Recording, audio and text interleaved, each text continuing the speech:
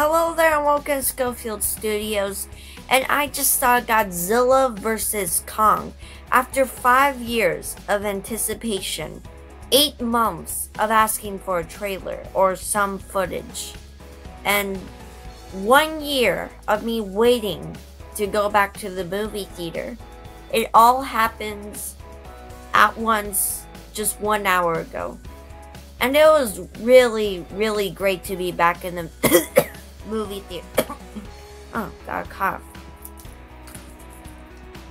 Anyways, it was so great to be back in the movie theater. And it's also so great to see another Godzilla film and another MonsterVerse film. So was it good?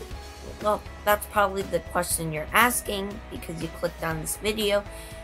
But I'll tell you in a second. First, tell me in the comments if you liked the movie. Now sit back, relax, and let's watch this intro.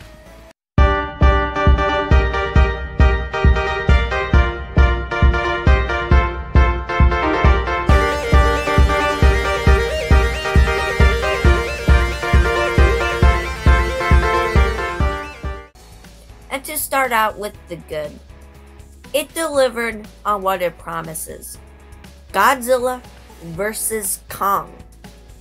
Obviously, ever since Kong Skull of King Island, Skull, Kong Skull Island, ever since Kong Skull Island in 2017, we've been wanting this film. We've been wanting to see Godzilla versus Kong once again. Because the 1965 version, version had Lego buildings. Although the 1965 version is good, still you want to see it with better CGI, better effects, and in the Monsterverse. Now you're getting exactly that. Three things to go with this. Is the fighting good? Can you see what's happening? And was it fun? Yes, yes, yes. First of all, the fighting was really fun. I mean, they don't pull back. Godzilla uses his atomic breath to his advantage. Kong uses his super strength to his advantage. And that acts. And since this is a non spoiler review, another kaiju that comes in later that I will not be talking about does have a lot of stuff he can do and does uses everything to his advantage. So the fighting, it's fun. It really is. It's also very clear. I mean, yeah, you have to be realistic if it's nighttime or daytime. But, you know, let's be honest. Probably the only problem with me with the Godzilla 2014 movie is that you can barely see what the hell's happening. It's so dark. You can, I mean, it, it's good, but it's still, you, it's still dark. You cannot see the fighting that well. You cannot see Godzilla that well. This movie, you can see everything, specifically every detail. So that was pretty cool. Also, the last hour of this film, the last 50 minutes, is the biggest fan payoff I have ever seen since Endgame.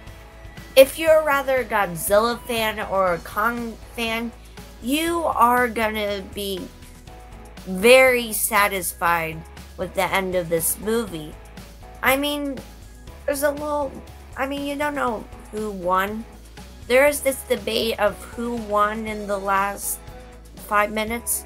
But overall, that's the thing. They're able to satisfy fans on both sides. Overall, this movie was fun. It delivered on what it promised. Godzilla versus Kong. It has great action. It was fun. It it was just a very great film you'd expect. Sadly, though, not every movie has no flaws.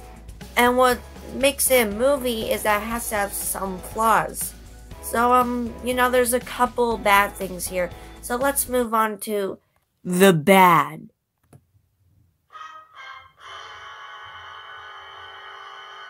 And probably uh, the biggest problem of the film, and the only problem of the film, if you put it away, is the human characters and their part of the movie. Okay, let's go back to 2014. Let's go to the Godzilla movie. Sure, there wasn't that much Godzilla fighting and action, but there was a lot of monster action with the Mutos, and that's not to say that the human characters and the human plot lines were good. You're not going to the movie to see human characters in a story, but you get that, and you know, that's nice because it's not all just monsters fighting. Same thing with Kong Skull Island. Sure, they're not one dimensional. I mean, they are one dimensional. They don't have layers to them, but it's a great cast and you have a lot of fun with them. Then Godzilla King of the Monsters came. And, you know, it didn't have that many good actors. The, the writing for their plotline, the human parts of Godzilla King of Monsters, it wasn't written good. It was pretty boring and lackluster. For this movie, it's kind of the same thing. You can break it up in two parts. You see, there's uh, this woman and this girl who goes, who's blind and she knows how to talk to Kong. We just get introduced to them for like one scene. One. Then there's this other guy who kinda looks like Tom Hiddleston in Godzilla Skull Island in a way. But he shows up and he's introduced in one scene. And there's a storyline where he lost his brother, only brought up twice. There's also this uh, crazy conspiracy theory type plotline with Millie Bobby Brown and uh, Brian Tyree Henry. Sorry, I'm so bad with names. But anyways, their plotline was probably the weakest aspects of the film. It's just so cliche and, you know, I did find some funny parts with it, but overall it was just, you know, like all the human characters and their plotlines, disappointing.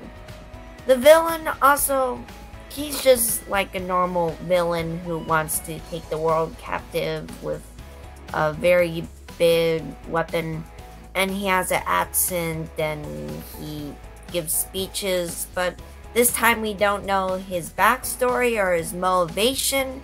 So it really makes for a lackluster villain who even though played by a pretty good actor he he's just there to introduce Sorry.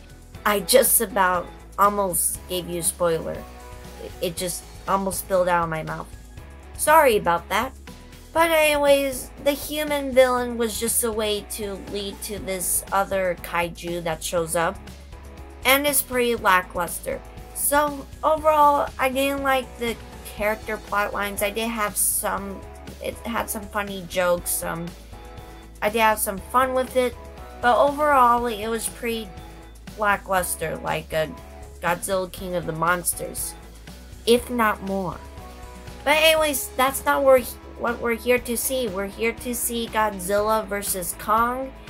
And overall, I thought it delivered on that, and it was a lot of fan service. So let's go on to our final ranking. And I thought it was a great movie. There was some great Godzilla versus Kong action. There was a lot of destroying buildings. There was a lot of monster mayhem. The stuff you want to see from a MonsterVerse movie and a movie called Godzilla vs. Kong. The character storylines aren't as good, but overall, I thought the directing was great. The music did a good job, and the CGI was wonderful.